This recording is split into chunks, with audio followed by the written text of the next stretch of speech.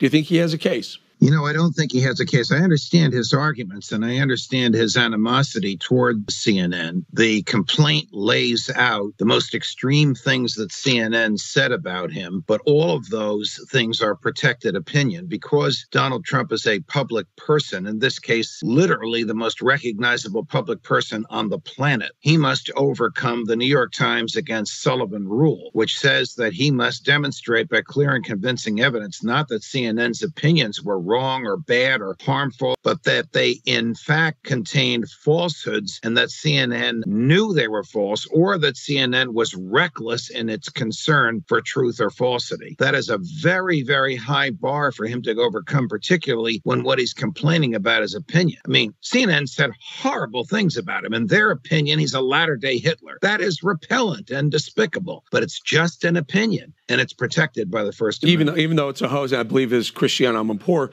who compared him to Hitler and then went on to apologize, saying she shouldn't have done it. Nonetheless, the damage, the genie was out of the bottle. Does he not have a claim that his reputation is damaged and therefore will have more difficulty raising funds for a future presidential run? Yes, Eric, that is his claim, but he still has to overcome that Times against Sullivan standard. So what CNN's lawyers will do is to make a motion to dismiss on the grounds that he didn't allege and didn't prove actual malice, knowledge of falsity, or reckless disregard for the truth. The failure to allege and to demonstrate that is fatal to the complaint, no matter how untoward the defendant's behavior may have been. The public policy reason behind this is he's Donald Trump. His megaphone is bigger than CNN's. He can refute this with more skill and a bigger audience than CNN can advance it.